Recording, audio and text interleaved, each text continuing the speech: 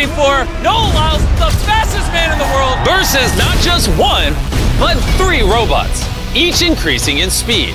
Meaning, everything all comes down to this. Will us humans prove to the world that we are not replaceable? Or will robots turn the page of history and mark the fate of our future? Only one can win the battle. And it's time to answer the question man or machine? Now the moment you've all been waiting for. Noah Lyles, the fastest man in the world. Versus not just one, but three robots, each increasing in speed.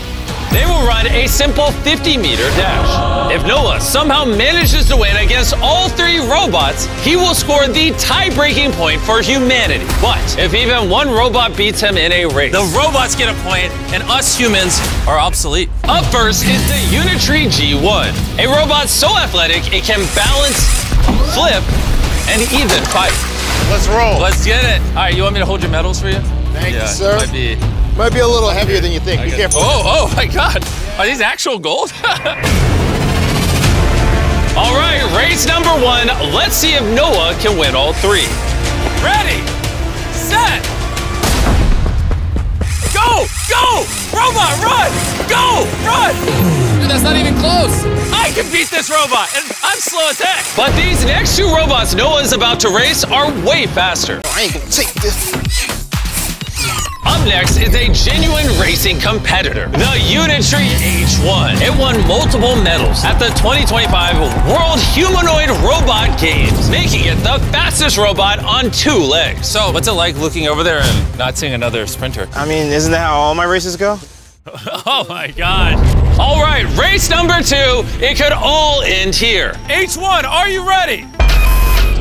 Noah, are you ready? Let's go! Set!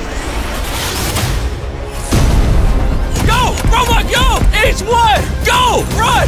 Oh my goodness! He's blowing the robot out of the water. Oh, it's not even close. He already beat you. He already beat you. I'm sorry, man. Good form, though. I had a feeling you would destroy H1, which is why we brought some non humanoid robots. Let's go to phase three. This is Black Panther. Modeled after the cheetah, it can reach speeds over 22 miles an hour. This is just the fastest robot, period. What am I racing dogs now? Are you ready to face the peak of robotic athleticism? Let's go! Humanity is resting in Noah Lyles' legs. Come down to this final race. For humanity!